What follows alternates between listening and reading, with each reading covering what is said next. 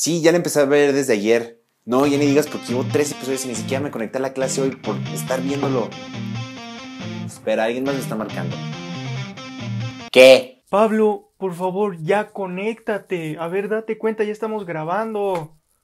Además, tengo que apurarme y yo tengo cita de mascarilla con mi mamá. No, no, no, no, no. A ver, espérate, es que no te he contado. Acaba de salir este documental de Michael Jordan que está uff. Mira, te cuento. Más o menos empieza como a partir de 1986. Bueno, bienvenidos todos ustedes a Sports Strike. Como siempre, yo soy Eduardo Mayer y el perico de acá es Pablo.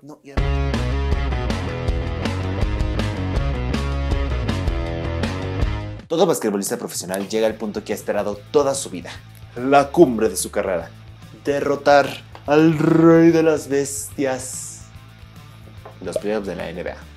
Los playoffs no solo son los partidos para ver quién llega a las finales y gana el campeonato, sino que también es la oportunidad para los jugadores de romper récords y brillar en la duela. Así que mejor explicar cómo funcionan los playoffs con ejemplos de los récords y hazañas de MJ. No, no la 9 de Spider-Man, sino más bien Michael Jordan.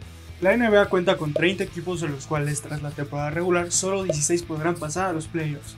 De los 8 equipos de la conferencia este y los otros 8 de la conferencia oeste, solo podrán pasar 8 equipos a la siguiente fase. Michael Jordan logró llegar a los playoffs 13 veces de las 15 temporadas que jugó en su carrera. Y en este primer round tiene un récord que es ahora imposible de romper, como esta tabla para mí.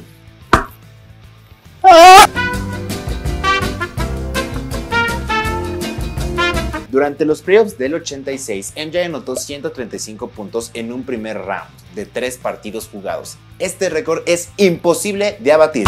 It was at this moment that he knew. He fucked up. Porque, ouch, Mayer, por favor, continúa por mí. En el 2002, la NBA cambió el número de juegos que cada equipo podía llegar a jugar en el primer round de 5 a 7. Durante la segunda ronda, solo 4 de los 8 equipos pasarán a la tercera ronda, que también se le conoce como las finales de conferencia. Durante toda la carrera de MJ acumuló un total de 5.987 puntos en playoffs, un récord que se mantiene a la fecha.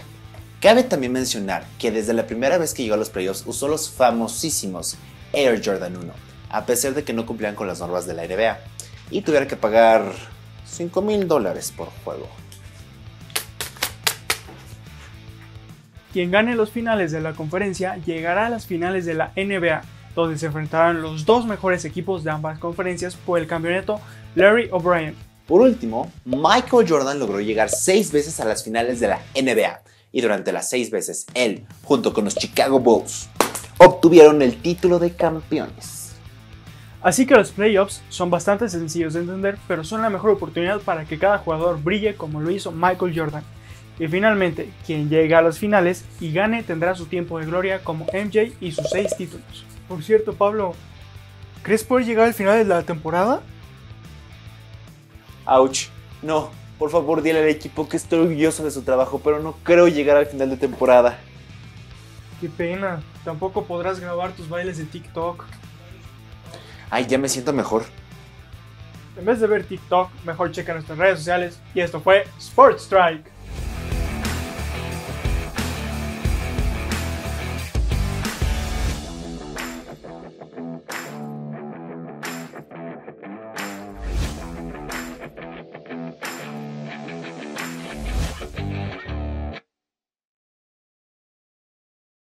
Uy, no, ya sé, mejor voy a ver el documental.